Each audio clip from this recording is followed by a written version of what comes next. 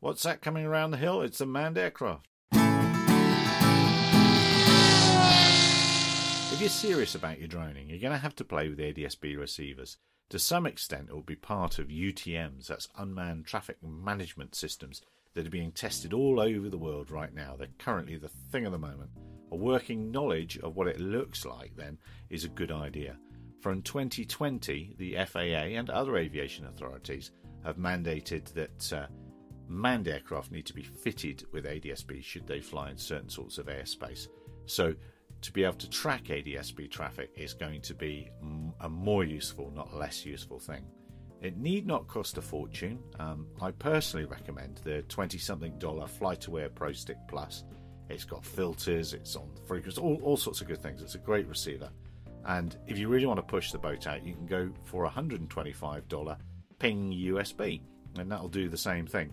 Um, it, that does actually have a limitation in that you can't change the antenna, so you, you, you, you can't play around with improving the range and the thing. Why should you bother to receive real time ADSB when you can just use an app uh, on your cell phone and, and see those aircraft? The trouble is, those apps are time delayed and you need an internet connection for, to, for them to work. And the data is not shown on the ground control station you might be using, of course. So you're not seeing aircraft in relation to your drone in real time. You're looking at between your phone and your ground control station. It's not in the data, it's not in the same place. And lastly, not all aircraft are shown on the apps. Some are filtered out. We still wouldn't want to hit those, so we better get our own data. I'm not going to detail how to set up the receiver parts. There's more than enough information out there on the interwebs, but they're effectively plug and play. Once you have your system working, you can feed those apps that we talked about before and help people waiting at the airport with their families. With a team of friends, you can create your own internet based local real time solution. Multiple receivers placed all over the place can allow you to look down valleys and around mountains. The further away you can see the traffic, the more time you have to plan and react.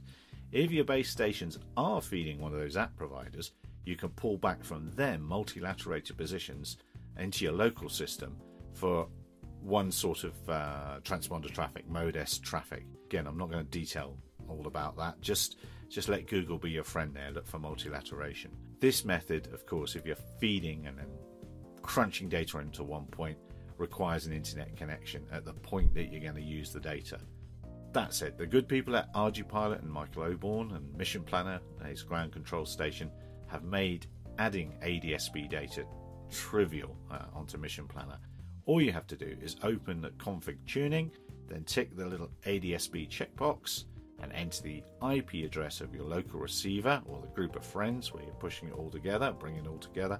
It really is that simple. Further to that, ArduPilot developer Randy McKay has been testing a, a running away algorithm currently in simulation that if you have an airframe fitted with a ping receiver and it sees a manned aircraft within 300 meters of itself, it'll do exactly what that name suggests. It'll run away. It'll try and land, fly away, do whatever to get out of the way of that aircraft. That's going to develop. It's going to be standard. It comes with the Matrice M200. Comes with ADSB from Ping now. Uh, any Pixhawk aircraft can have ADSB put in quite simply. So it's time to start getting familiar with ADSB.